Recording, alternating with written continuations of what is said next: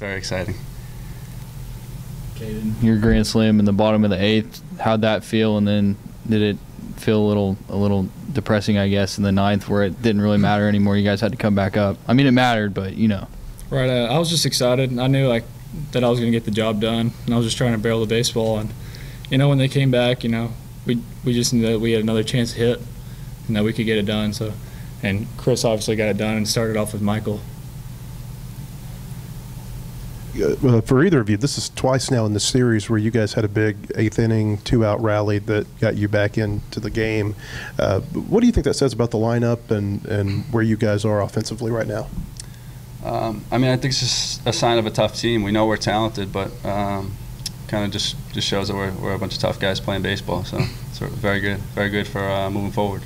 I agree. I feel like we're never out of it with anybody because anybody one through nine can spark the lineup, and once it sparks, it's just hard to stop us.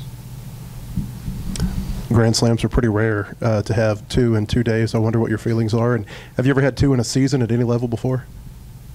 I'm, I'm not sure. I don't think so. Not in any like high level, but you know, I'm just just trying to barrel baseballs and just do the things for my team and just lucking out. You're hitting leadoff now, uh, or at least in the series you were. How, how, do you feel hitting leadoff? And and for either of you, if you could talk about what what Cayden's you know leadoff production uh, did for the lineup in the last four. Um, I was pretty excited to see that I was in leadoff. Uh, I feel like I can I can spark it early, and you know I, I, feel like there's a lot of guys on this team that can do it and will do it because I feel like it you know it might change, might not, but um, you know I'm just I know I can take pitches and see the ball up and drive the ball, and you know I just I just want to get on base for the guys behind me. Yeah, um, going off of that, he, he sees a lot of pitches and, and he does barrel ball. So, um, and a guy that's just impossible to strike out. So I, I, think he's he's perfect for the role, whether it's first, second, or third. Um, you know, he fits right in. Chris, going going up to bat in the ninth, before before you and Michael got up, did you guys talk to each other? You know, say, hey, we're gonna be fine. I mean, my, and then just your thoughts on Michael, how he's doing. I mean, he had a great weekend as well.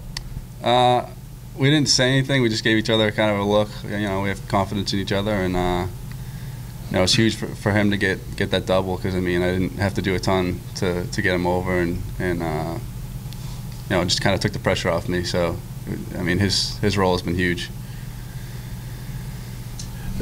Cayden, I don't know about you, but these uh, two comeback wins this week kind of felt familiar to some of the non-conference games that you played early last season in terms of you know late rallies, you know winning against uh, non-conference team. Do you see similarities uh, between those games and, and and maybe this team and, and what last year's team was able to do so late in so many games? Absolutely. I mean, last year we were really a tough team, really talented team, and honestly, I think this year we're even tougher and even better. And I know like we haven't been that great offensively throughout the year, but I think that our guys are really stepping up and being comfortable, and uh, you know we, we have confidence with everybody that goes to the plate now and uh, I think it's just been like a relief off our back, just knowing that everybody can do it.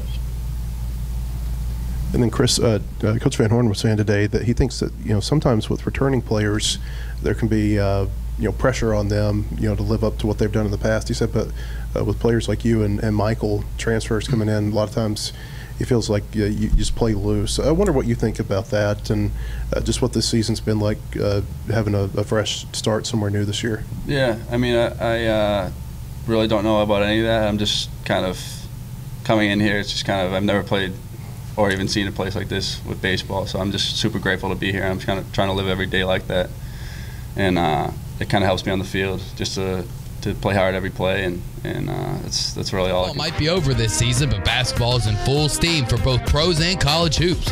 For all the latest odds, totals, player performance props to where the next fired coach is going to land, BetOnline is the number one spot for all your sports betting needs. Head over to the website or use your mobile device to sign up today and receive your 50% welcome bonus on your first deposit. Use our promo code BLEAV to get started. That's promo code B L E A V. And it's not just basketball. BetOnline is your source for hockey, boxing, and UFC odds, right to the Olympic coverage is the best in the business. From sports right down to your favorite Vegas casino games, BetOnline is your number one online wagering destination. BetOnline, the fastest and easiest way to wager on all your favorite sports and play your favorite games. BetOnline where the game starts.